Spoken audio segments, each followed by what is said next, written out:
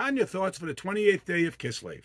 When we invest our skills in Torah and mitzvah actions, we actually reach a more profound closeness with God. The mitzvah acts are more than mere behavior modifiers, busy work to keep us from destroying the world. They are the objective of creation. So when acted upon, one in fact aligns himself with God himself. Although he may not understand why this particular behavior will bring him a unity with God, he should know that since God created him and asked him to do it, that in and of itself will effectuate the bond when executed.